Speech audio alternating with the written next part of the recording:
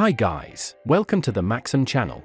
In this video, we will show you how to add offline Tidal music to Serato DJ software for mixing.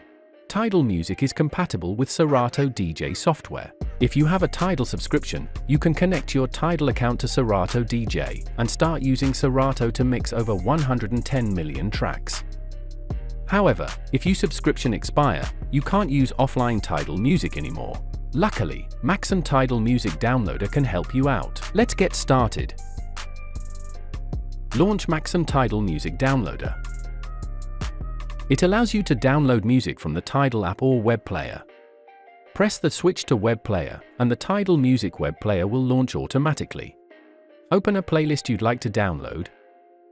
Click a Click to add. Then check the songs you'd like to convert. Hit the Add button to load the selected songs to Macsome. Tap the Settings option on the left. Choose MP3 as the output format. Besides, you can also set other output parameters you prefer. Close the settings window. Then click the Convert button to start the download process. Wait a minute, please. When the downloading is finished, go to the Converted tab. Click the folder icon to find your downloaded Tidal music songs in your local computer.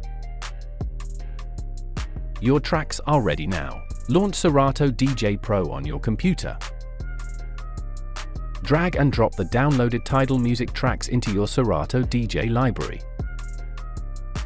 Now your favorite Tidal music tracks are ready to mix in Serato DJ. That was all on how to import Tidal music into Serato DJ. Thanks for watching. Don't forget to like and subscribe.